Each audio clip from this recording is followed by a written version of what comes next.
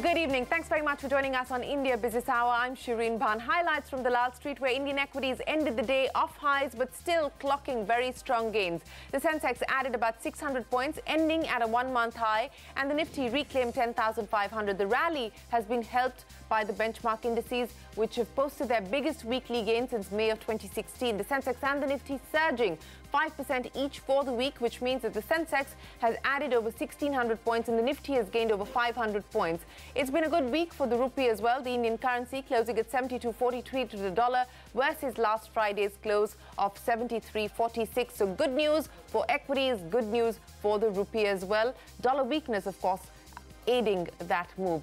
So where are Indian equities headed from here? We asked that question to market masters Ridham Desai of Morgan Stanley, Raamdeo Agrawal of Motilal Oswal and Akash Prakash of Amansa Capital. The consensus is that despite the recent decline, Indian equities are still not cheap.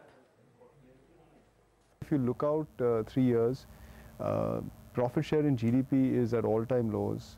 Uh, a mean reversion is due any time. It hasn't come thus far. I don't think I want to give up on that call. I think it will come. And when it comes, I think, you know, when we look back, stock markets may not have been that expensive. Uh, while they do look uh, rich on a say PE multiple, the fact is earnings are very depressed. So I tend to look at price to book on the index level. I think that's a better guide to time the market. After 15, 1700 points correction, a lot of this froth which was there, more in mid cap and small cap and even in larger caps, 20, 25%, 30% individual stocks, have been you know chopped off from their all-time high positions. So clearly that uh, to that extent uh, some amount of correction has definitely happened. So my sense is that it can be repaired only with the money. Either foreigners come in or domestics come in again. Mm. So domestics are not gone out. They don't have any exit to any any other place. So uh, the we hope that flows will again build up. Mm. So a lot is dependent on how the inflow into mm. domestics happen. There has been some uh, significant damage in the mid cap and small cap space specifically. Stocks are down 30, 40%.